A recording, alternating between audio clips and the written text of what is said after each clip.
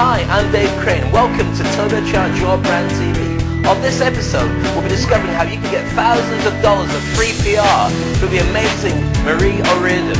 We'll also be teaching you how to stand out at networking events so people even start to think that it's your event.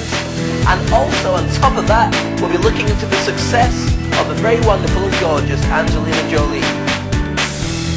How can you resist that? All that and more coming up on Turbocharge Your Brand TV.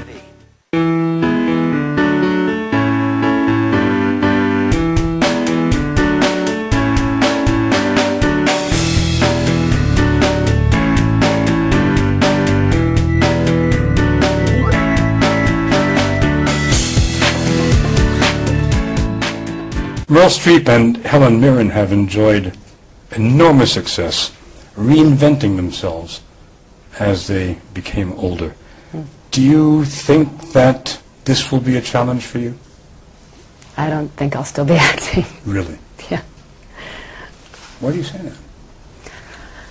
I just have uh, other things I hope to do in my life, and and um, and I and you know I would love to live a long life, but my mother didn't live a long life, and you never know how long you've got. And I'd like to learn languages, and I'd like to be there as my kids become adults and, and be on, you know, drive them from place to place as they go on their first auditions for whatever job they're trying to get and thing they're trying to do. And I want to um, travel, and I want to be. Uh, there's just other things. I'd like to be more than that. And now it's time for Ask Dave. So Ms. Stevenson asked me a very simple question. Dave, how do I find my perfect partner? Right. Well, very simple. It is simple. I learned this from Dr. Phil. Imagine you could write down 20 bullet points of what your perfect partner would be like. Write them down. And now it's time for our interview, and we have the guru of PR, Marie O'Riordan. A fast track is to jump on the news that's already on the front pages and to give your angle and expertise from your area. A good tip I give people is to walk into a magazine store, uh, turn on the news, see what's in the headlines and see where you are. Where do you fit in the equation? How can you get into the media? How can you contact them with your unique pitch?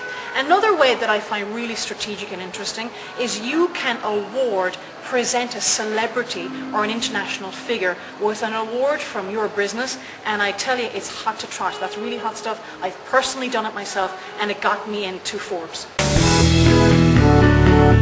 And now it's time to look at your inner game. Your Millionaire Mind Principles. This is third part in a series of Thomas J. Stanley's book, all about what millionaires do. Number three is have the courage to take financial risks and be prepared to bounce back from defeat.